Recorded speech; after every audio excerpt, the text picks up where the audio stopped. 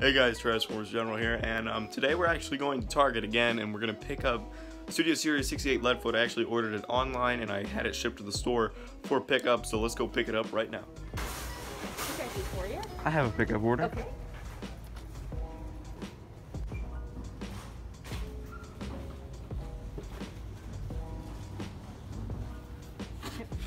It's in there. All right, thank you so much. You're welcome. Have a good day. you too. Right, we got the pickup boys, and we're just gonna go ta- check this section real quick, because just to see what they threw out. I don't expect them to have anything different, because I was just in here a few days ago. Yep, still the same old stuff, so we're gonna go home and probably unbox it, and they still have Ultimate Masters, so let's go home.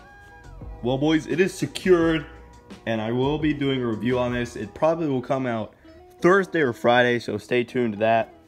But, um, yeah, here's the box. Nothing really special, so I'll show it off more in the review. But I hope you guys enjoyed this video. If you did, definitely consider smashing that subscribe button like, subscribe. Peace out. Transformers General out.